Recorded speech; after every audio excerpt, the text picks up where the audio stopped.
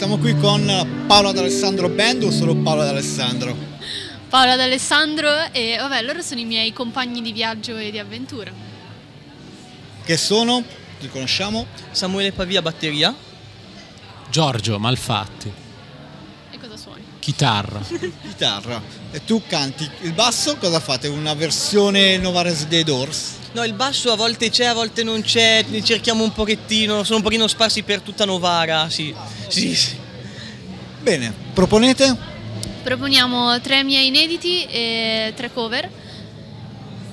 Volete sapere i nomi delle cover o... No, veramente sono più interessanti gli inediti, cioè eh, che sono in italiano, in inglese, da dove nascono? No, sono in italiano, interamente scritti da me e il principale che presento oggi è Zenzero e Limone, che è il singolo che sto lanciando in questo periodo e può essere trovato su tutte le piattaforme digitali e penso che sia anche in onda sul- sulla vostra televisione, sul vostro canale, quindi restate sintonizzati così magari lo beccate ogni tanto.